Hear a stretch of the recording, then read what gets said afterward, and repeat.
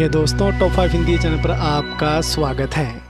बाजीराव मस्तानी, पद्मावत और गली बॉय के टाइम रणवीर सिंह इतने ज़्यादा पॉपुलर हुए थे कि उस टाइम रणवीर सिंह की कई नई फ़िल्में अनाउंस की गई थीं। ऐसी ऐसी फ़िल्में अनाउंस हुई थीं कि लग रहा था कि रणवीर सिंह आने वाले काफ़ी टाइम तक बॉलीवुड पर रूल करेंगे। लेकिन फिर 83 थ्री जयस भाई जोरदार और सर्कस के फ्लॉप होने की वजह से रणवीर सिंह की पॉपुलरिटी काफ़ी डाउन हो गई।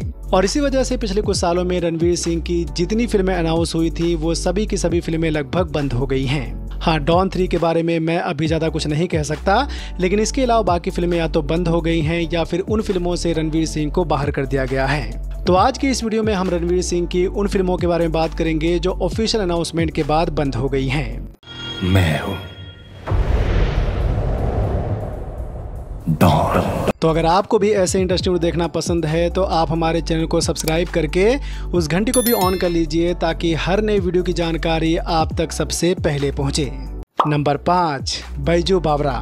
पद्मावत के बाद डायरेक्टर संजय लीला भंसाली ने अनाउंस किया था कि वो रणवीर सिंह के साथ एक और फ़िल्म करने जा रहे हैं, जिसका नाम होगा बैजू बावरा। उन्नीस सौ बावन में भरत भूषण और मीना कुमारी की इसी नाम की एक फ़िल्म आई थी, जिसे काफ़ी पसंद किया गया था। और कहा जा रहा था कि संजय लीला भंसाली इसी फ़िल्म को रिमेक करने जा रहे हैं, जिसमें रणवीर सिंह के साथ आलिया भट्ट और नयन तारा लीड रोल में नज़र आएँगी।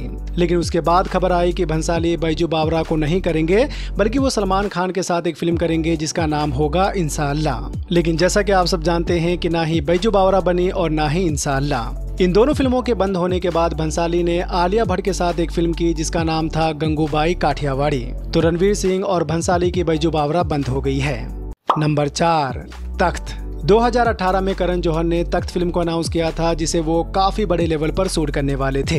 ये एक हिस्टोरिकल ड्रामा फ़िल्म होने वाली थी, जो मुगल एम्पायर पर बेस्ड होती और इसलिए में रणवीर सिंह को दारा सिकोह के रोल के लिए साइन किया गया था। उसके अलावा विक्की कौशल, आलिया भट्ट, करीना कपूर, अनिल कपूर भूमि पेडनेकर और जानवी कपूर को भी साइन किया गया था। फ़िल्म के लोकेशन की तलाश स्टार्ट हो गई थी, लेकिन फिर पैंडेमिक और कुछ कंट्रोवर्सीज की वजह से करण जौहर ने इस फ़िल्म को बंद कर दिया। तख्त फ़िल्म के बंद होने के बाद करण जौहर ने रणवीर सिंह और आलिया भट्ट को रॉकी रानी में साइन किया, जो 2023 में रिलीज़ हुई थी। नंबर तीन, अनियान रिमेक। जैसा कि आप सब जानते हैं कि शंकर अनियान का रिमेक बनाने वाले थे, जिसमें उन्होंने रणवीर सिंह को साइन किया था। लेकिन जैसे ही रिमेक की खबर सामने आई, अनियान के प्रोड्यूसर ने कंप्लेन किया कि अनियान के राइट उनके पास हैं और उन्होंने शंकर को सिर्फ़ डायरेक्ट करने के लिए रखा था और इसी वजह से वो अनियान का रिमेक नहीं बना सकते।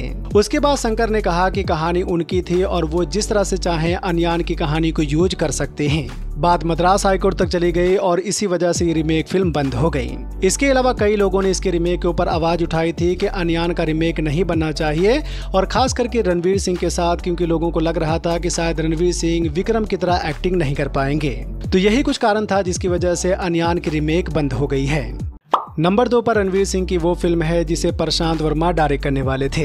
इसी साल अप्रैल के महीने में खबर आई थी कि पीवीसीयू के क्रिएटर प्रशांत वर्मा एक माइथोलॉजिकल फ़िल्म बनाने जा रहे हैं, जिसका नाम होगा राक्षस। राक्षस फ़िल्म की शूटिंग जून में स्टार्ट होने वाली थी, लेकिन फिर कुछ आपसी मतभेदों की वजह से प्रशांत वर्मा और रणवीर सिंह की ये फ़िल्म बंद हो गई। सोचो, अप्रैल में फ़िल्म की खबर आई, रणवीर सिंह फोटोशूट के लिए हैदराबाद गए, लेकिन फिर कुछ हुआ और ये फ़िल्म बंद हो गई। तो रणवीर सिंह और प्रशांत वर्मा की ये फ़िल्म भी नहीं आएगी।